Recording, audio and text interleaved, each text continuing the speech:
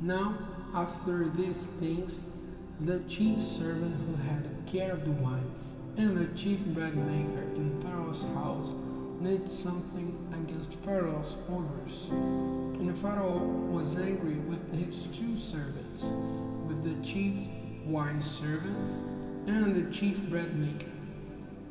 And he put them in prison under the care of the captain of the army, in the same prison Joseph himself was shut up.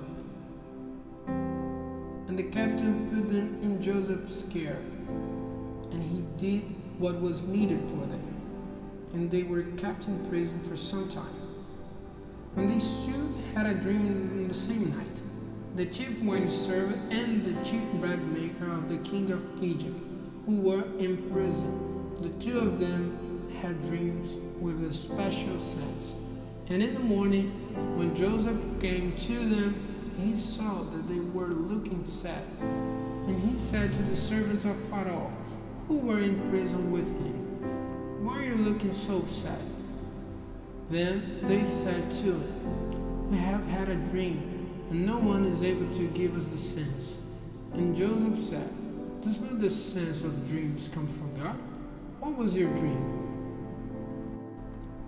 Then the chief wine servant gave Joseph an account of his dream and said, In my dream I saw a wine before me, and on the vine were three branches, and it seemed as if it put out buds and flowers, and from them came grapes ready for cutting. And the Pharaoh's cup was in my hand, and I took the grapes and crushing it into Pharaoh's cup, gave the cup into Pharaoh's hand. Then Joseph said, This is the sense of your dream.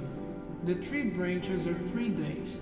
After three days, Pharaoh will give you honor and put you back into your place, and you will give him his cup as you did before when you were his wine servant. But keep me in mind when things go well for you, and be good to me and say a good word for me to Pharaoh, and get me out of this prison. For truly I was taken by force from the land of the Hebrews, and I have done nothing for which I might be put in prison. Now, when the chief bread maker saw that the first dream had a good sense, he said to Joseph, I had a dream, and in my dream there were three baskets of white bread on my head.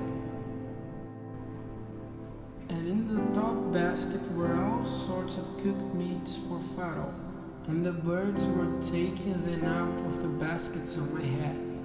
Then Joseph said, This is the sense of your dream. The three baskets are three days. After three days, Pharaoh will take you out of prison, hanging you on a tree, so that your flesh will be food for birds. Now the third day was Pharaoh's birthday, and he gave a feast for all his servants. And he gave honor to the chief wine servant and the chief bread maker among the others. And he put the chief wine servant back in his old place and he gave the cup into Pharaoh's hand. But the chief bread maker was put to death by hanging, as Joseph has said. But the wine servant did not keep Joseph in mind or give a thought to him.